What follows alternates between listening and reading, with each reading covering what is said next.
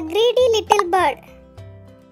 Once upon a time, a hungry bird went to see the queen bird and talked about some big cards. The queen bird said, It's not safe there.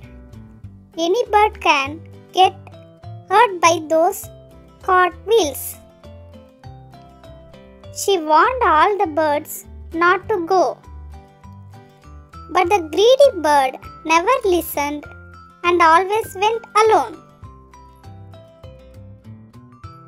One day, the bird got hurt by a cart's wheel.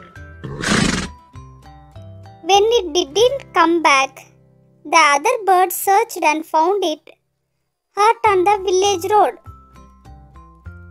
The queen bird said, The bird got hurt because it was too greedy. Moral A greedy and selfish person always suffers. Thanks for watching.